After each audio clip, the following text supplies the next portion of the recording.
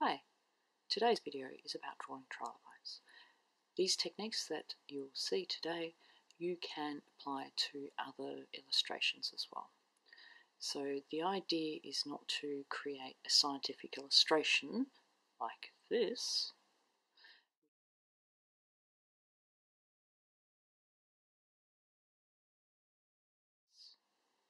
which took me over three hours to do, but more of a base sketch that you would take perhaps like um, 15 minutes, but will still get the essential details of your trilobite.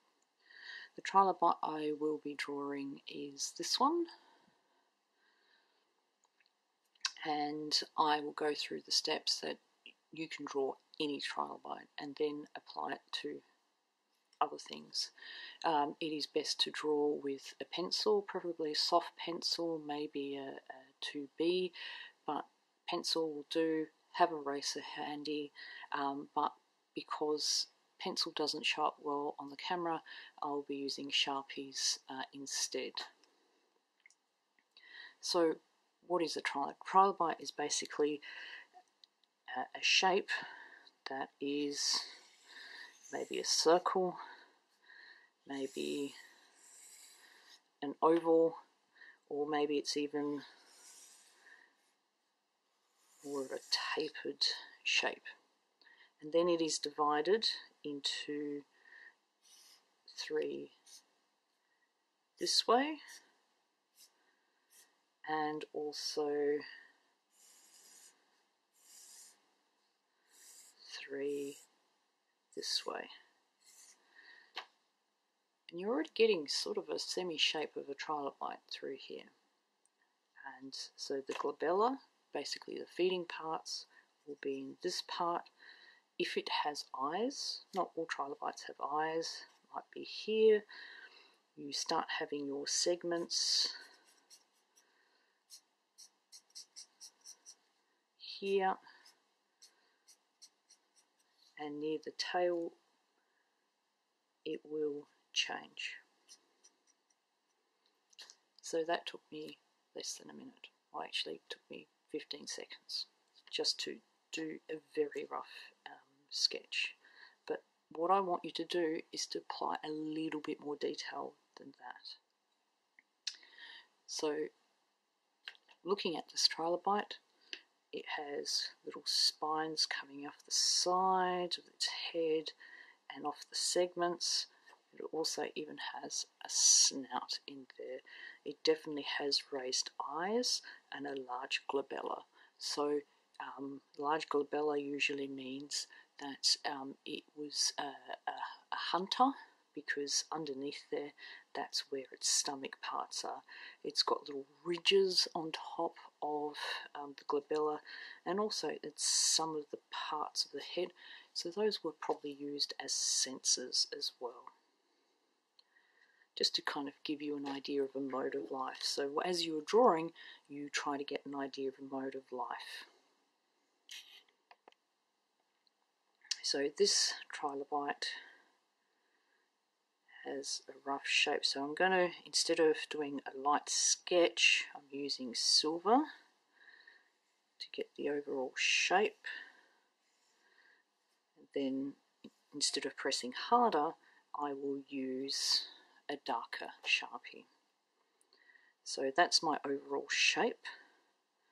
And then it has a snout coming out that way.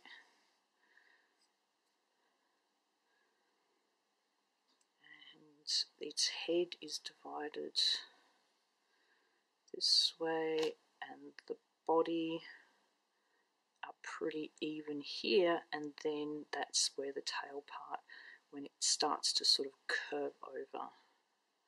So that's about here.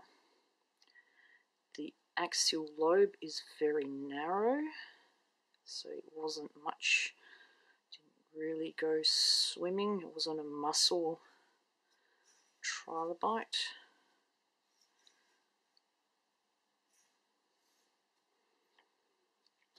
And you would actually count those segments as well to add to it. So I already got the overall shape. and I'll count the segments, draw them in, and then draw in all the additions.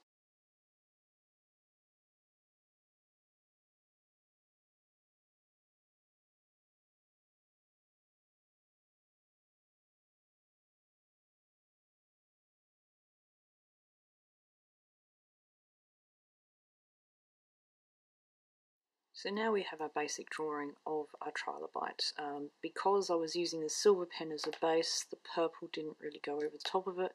Once again, I really stress that you use pencil, light at first, and then slightly darker to go over those lines to really um, give that sense of what it is. And now you need to put labels.